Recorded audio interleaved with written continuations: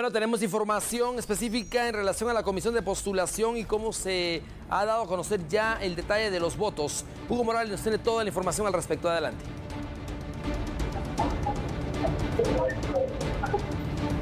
Bien, tenemos ya detalles de la comisión de postulación por parte del periodista Hugo Morales desde el lugar donde se está realizando el conteo de votos. Adelante, Hugo.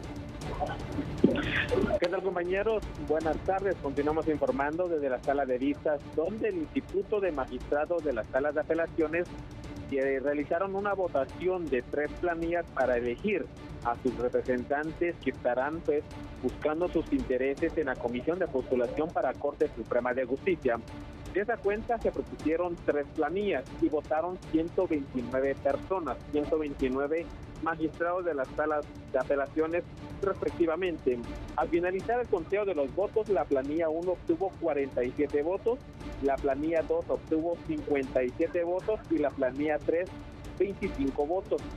De esa cuenta, estos votos se dividen en un sistema que tiene el Tribunal Supremo Electoral, incluso vino un trabajador de esta institución para hacer la aplicación del sistema de minorías.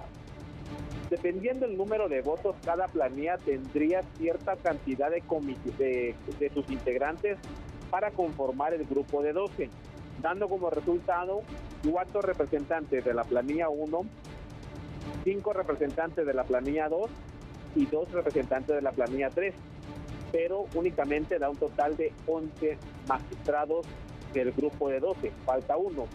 Este fue el problema que se originó y es una discusión que tienen ahorita los fiscales de las tres planillas con la comisión electoral, revisando nuevamente la operación matemática, revisando lo que les dice la ley de comisiones con el tema de una proximidad con el tema matemático, porque falta un comisionado por elegir.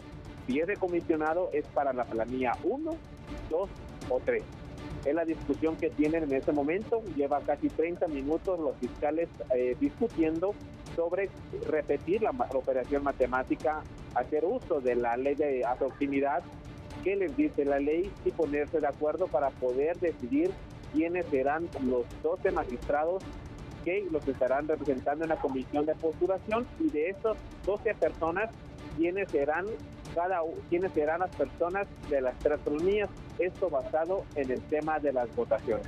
Pero que sí han mencionado la comisión electoral es de que hoy tienen que elegir a estas 12 representantes porque fue la convocatoria que se hizo y, no importa la hora que salgan, pero tienen que llegar a un acuerdo, a un consenso para elegir a estas 12 personas de las tres familias propuestas, siempre respetando lo que fue el fallo de la Corte de Constitucionalidad, que tendría que hacerse a través de la presentación de diferentes planillas y no una única planilla como se hizo en su momento y fue uno de los motivos por lo cual se anuló ese proceso en su debido momento. Es la información amigos, adelante tú.